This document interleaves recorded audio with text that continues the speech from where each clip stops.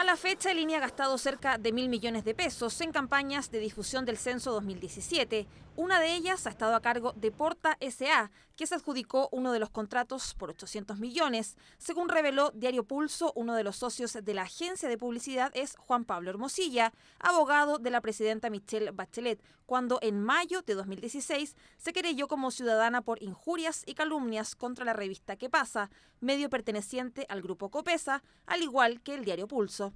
Eh, creo que hay que ser muy responsable eh, cuando se hacen este tipo de notas.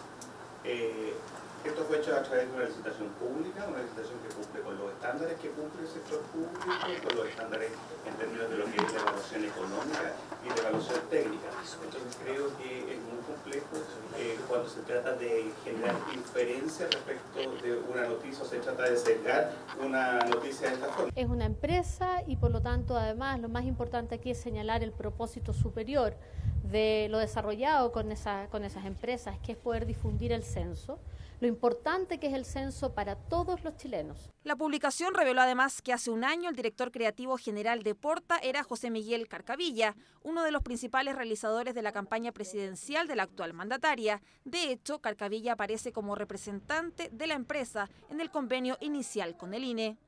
La adjudicación de esta empresa bajo un proceso transparente por Chile Compra fue en diciembre del 2015 y probablemente buena parte de ustedes conoció de la persona a la que se hace mención durante el 2016.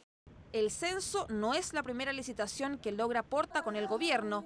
También en 2014, a través de la CGGOP, se le adjudicó la contratación de servicios de campañas comunicacionales y servicios de asesorías creativas y también ganó varias licitaciones durante el gobierno de Sebastián Piñera. Dominico Etancourt, CNN Chile.